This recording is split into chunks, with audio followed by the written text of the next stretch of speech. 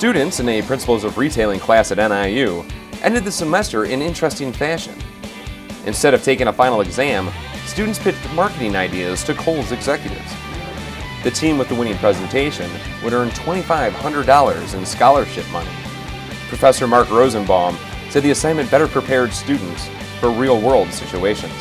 The class was Principles of Retailing, and the assignment was to develop a project for Kohl's, upon Kohl's request, to engage um, brand awareness and to increase brand awareness as well as sales among millennials. Basically, how do you bring millennials into Kohl's? I didn't, I don't believe in memorization. I hate multiple choice exams. This was a real life project. This brought retailing to the classroom. Anyone can memorize a concept.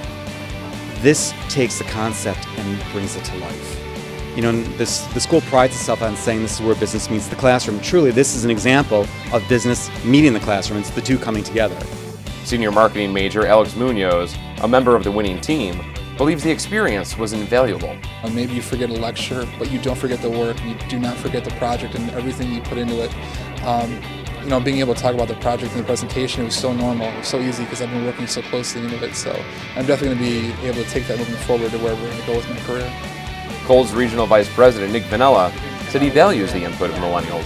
I just think it's exciting, exciting to be on campus, exciting to really see, you know, fresh approaches on how, you know, business should be done um, or perceived on how it should be done through the eyes of, you know, current consumers.